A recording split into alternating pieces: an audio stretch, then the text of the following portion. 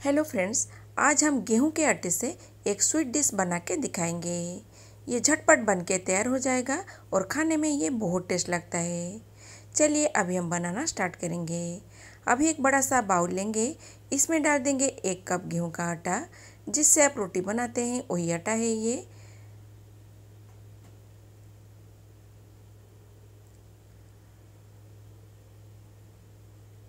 अभी इसमें डाल देंगे थोड़ा सा इलायची पाउडर।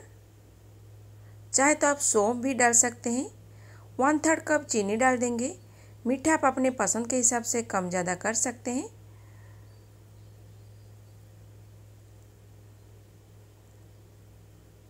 नमक डाल देंगे स्वाद के हिसाब से।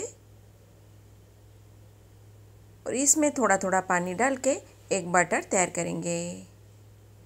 जैसे इसमें जो गुटलियाँ है, सारा ख़त्म हो जाएगा। इसलिए थोड़ा थोड़ा पानी डाल के पहले मिक्स कर लीजिए। अभी थोड़ा पानी और डालेंगे और इसको अच्छे से मिक्स कर लेंगे। अभी देखिए, इसमें जो सारा गुटलिया था, ये ख़त्म हो गया है। इतना ही रहेगा थिक बटर अभी चलिए इसको फ्राई करेंगे। फ्राई करने के लिए कढ़ाई में ऑयल को गरम करेंगे।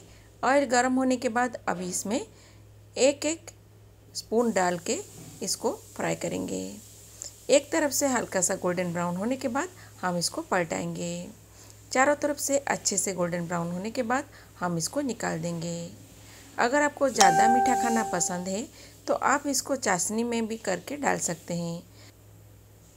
देखिए, ऐसे करके अभी हम सारे बना लेंगे।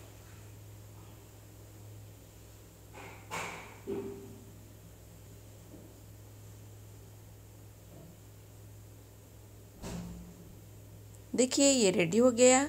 ये बनाना बहुत आसान है और खाने में ये बहुत टेस्ट लगता है। देखिए, अब ये रेडी हो गया। आप एक बार इसको घर में बनाइए। अगर मेरा वीडियो आपको अच्छा लगे, मेरे वीडियो को लाइक, शेयर करना ना भूले। Thank you for watching.